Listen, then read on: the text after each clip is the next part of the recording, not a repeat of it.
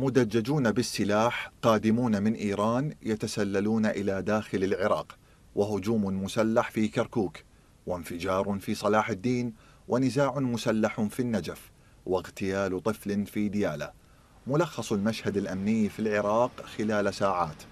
أحداث عنف وقعت بشكل متزامن وأسفرت عن إزهاق أرواح مدنيين وعسكريين. في عودة متصاعدة للفوضى الأمنية في ظل اقتتال سياسي على المناصب. ويبدو أن ورقة الانفلات الأمني تم توظيفها سياسيا مرة أخرى بحسب خبراء في الشأن السياسي وفق مبدأ البقاء في السلطة أو انتشار الفوضى. في وقت يأمل العراقيون أن يسفر الصراع بين الشركاء عن رحيلهم مع الفوضى.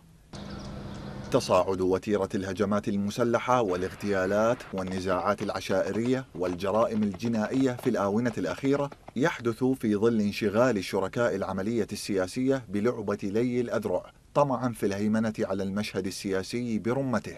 وما تدهور الأمن الذي تشهده محافظات العراق إلا واحدة من وسائل الترهيب لإشغال الرأي العام عما وصفت بالمهزلة السياسية المتمثلة بالصراع بين الإطار التنسيقي الموالي لإيران وبين أنصار التيار الصدري.